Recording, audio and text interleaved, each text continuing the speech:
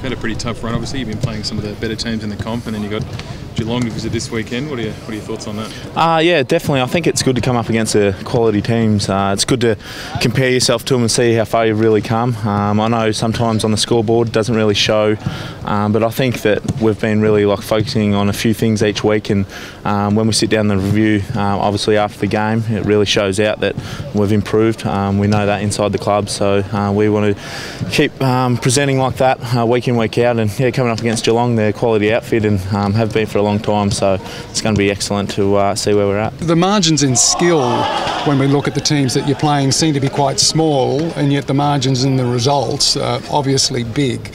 Where is it that the Giants have to make up to be competitive in this competition? Yeah, um, I think naturally um, us boys are a very attacking side. You know, all coming out of the under 18s comp is, you know, the the top players from each team all you know looking to run forward because it is a bit easier in the under 18s. But um, yeah, I think at the moment we're just getting caught out on transition. Um, but you know that's been a massive focus of ours for the last month.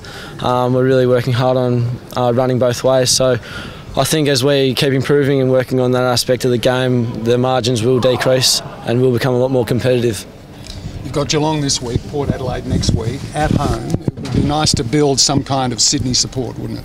Uh, definitely, yeah, definitely. Um, I think we're looking to do that each game up at Skoda. I know that um, personally, all the boys within the group and the coaching staff and um, our supporters love it up here um, in Sydney. We love the stadium. Uh, I, I, I, just love. I was surprised I didn't think we were training here today. I thought we were at Wills, but when we um, when I got told that we are training here, uh, I was rapt to come down here um, this morning, and uh, yeah, we're we're really building uh, a good bunch of supporters here that come to the stadium each week. And I think in Western Sydney it, it takes a bit of time, but um, more and more are coming over. And I think um, it really helps that we're going out into schools as well. I think there's another. Um, a few school visits coming up in the um, next few weeks before we go home for the week off, and um, that really builds a lot of support for the club as well.